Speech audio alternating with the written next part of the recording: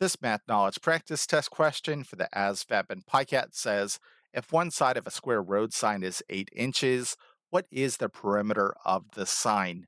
So again, on the ASVAB and PICAT, you're not given a reference sheet. That said, as you'll see in just a few seconds here, I'm going to solve this one without using any formulas whatsoever. Instead, you just need to know two things.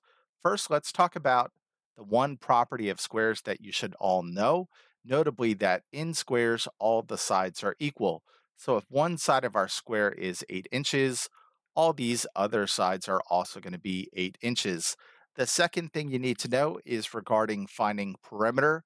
In order to find perimeter of any regular polygon, including a square, you simply add up all of its sides. So the perimeter of this square is going to be 8 plus 8 plus 8 plus 8 8 plus 8 plus 8 plus 8 is 32.